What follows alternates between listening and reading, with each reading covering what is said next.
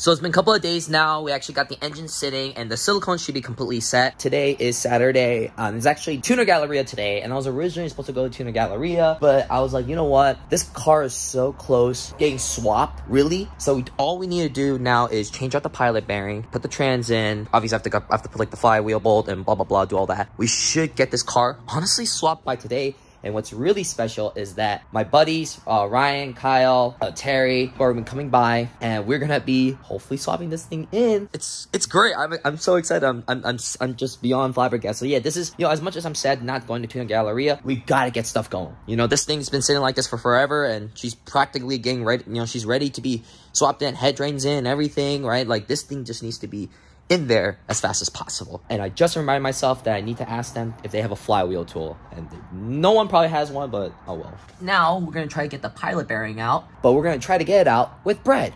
I've been to almost every auto parts store. All of them tell me that the flywheel tool is special order. If I order it now, I would, and I, you know, uh, fast express it or whatever, I should be able to get it tomorrow.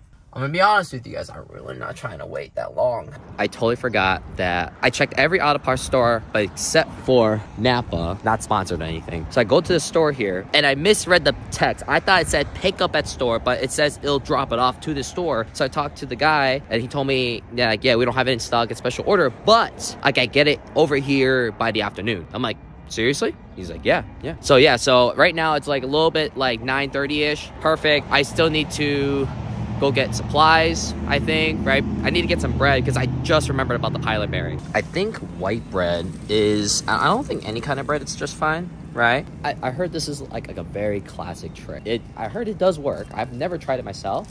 Actually, when I built the FDM, I remember, I okay, so I just, when I was driving over here, I swear I remembered I bought a flywheel tool. Maybe I rented it out or I borrowed somebody. I, I my memory's a little bit foggy about that.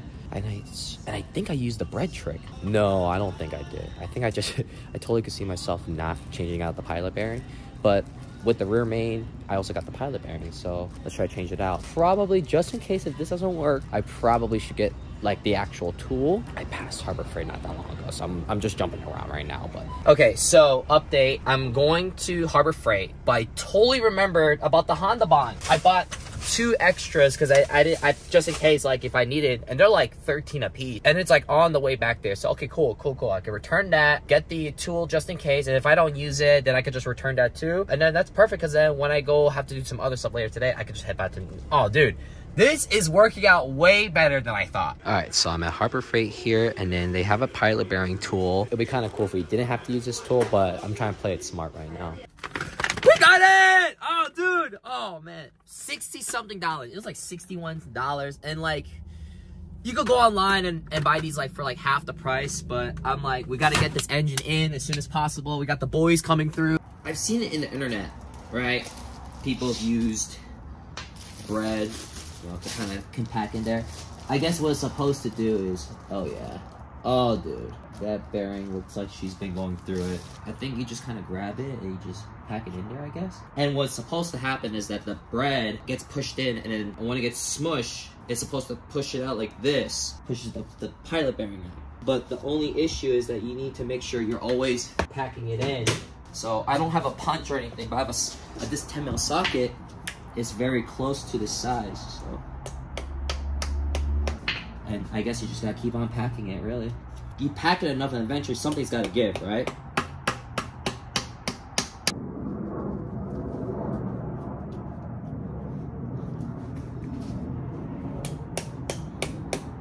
I mean, honestly, I could be doing this completely wrong, but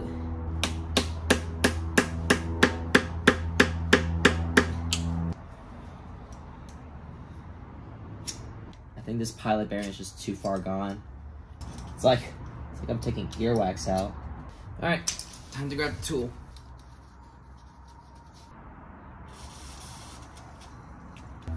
Wow. Wow. This thing has just been, she's been through it. This is what a factory pilot bearing is supposed to look like. This is what came out of the car. It is just completely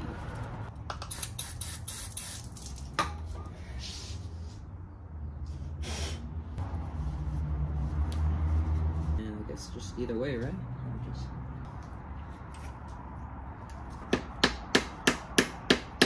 Honestly, that was not too bad at all. That was doing maintenance is really not that hard. The next thing we have to do is put the flywheel back on. All right, so I got the flywheel here and just got a little rusty, but overall the surface looks pretty good. I mean, it's not like I don't have any options right now, if I'm honest, so. Oh my.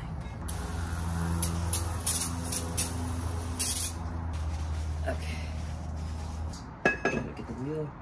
Thankfully, there's only one way to install this thing because it has like a pin right here. Now, now I know I, I was about to make a big mistake. supposed to put the backing plate on. There you go. Now the backing plate's on.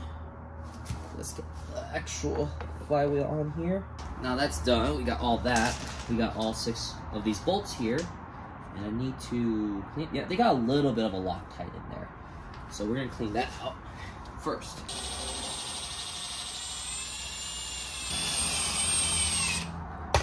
So now, which type of Loctite you're supposed to use. So online, a lot of people said, oh, you're supposed to use red Loctite. Other people said, you're not supposed to use any because factory doesn't come with any. For me, I'm using blue because it's like a semi-permanent. I remember in the past, we used red before, or like, I think I think one time I used red on the crank, on the front, the crank bolt. And dude, when we tried to take it out, it was just it, it, it, wouldn't want to come out. I remember Touge Factory even like they had so much trouble taking it out. If I'm honest, I from my memory, I've seen blue used a lot. That's what I'm using right here. I'm not using a lot. I'm just using a good amount of blue here. And obviously, this is not going to be the only time. Like, if you're never ever going to take this thing off, like, and I, I don't know how like you would like that would be even a possibility. You know, there's always a possibility you have to take stuff off, or like let let's say God forbid like a flywheel breaks off or something.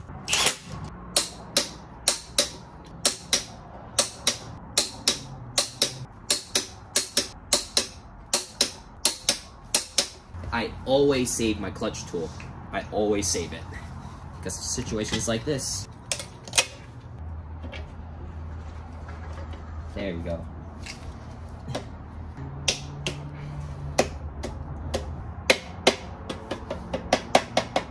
Now, some people prefer, obviously, you know, Loctiting everything, but I think what I'm gonna do here is probably gonna do the same, but I'm gonna clean everything up.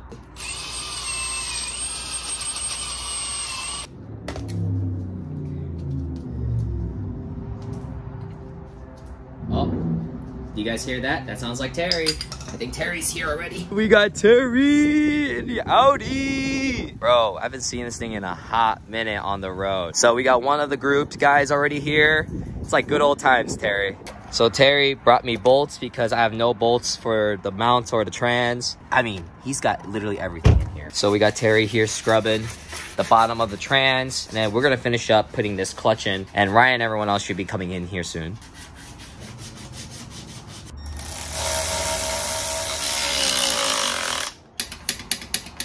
And then this should be the last one here. All right, cool, nice, fantastic. And then we just pull the sucker out.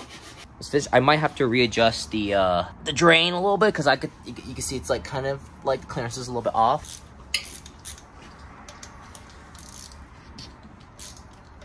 Now where's that gonna go to? The pan that we that we oh that was yeah that we made the bunk for.